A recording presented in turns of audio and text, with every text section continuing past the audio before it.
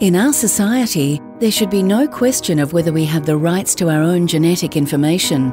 At Maurice Blackburn, we believe, as a matter of principle, that a corporation should not be able to control ownership of our genes. BRCA is a normally occurring gene found in breast and other tissue. People who carry mutations of the gene can have an 85 to 90% risk of developing breast and ovarian cancer. This is why doctors like to run tests on at risk women to see what form of the gene they have.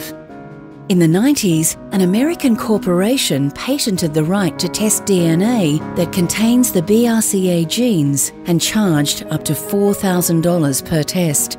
The corporation claims that they're creating innovative medicines, but what they're really doing is charging at risk women a lot of money for simple genetic tests. The patent can limit access to potentially life saving tests and prevent other researchers from developing more effective tests and treatments. It also means that a patient who has a BRCA test potentially can't have it independently verified. If someone told you that you had a cancer gene and recommended a radical preventative treatment, wouldn't you like to get a second opinion? In June 2013, the US Supreme Court invalidated the corporation's patent on BRCA genes.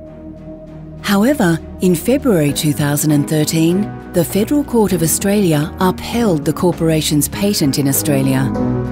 This meant that even though the original US patent was cancelled, it still stood in Australia.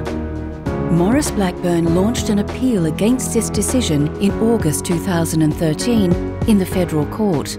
The appeal went all the way to the High Court, and in October 2015, they unanimously agreed with Maurice Blackburn lawyers that corporations can't own our genes.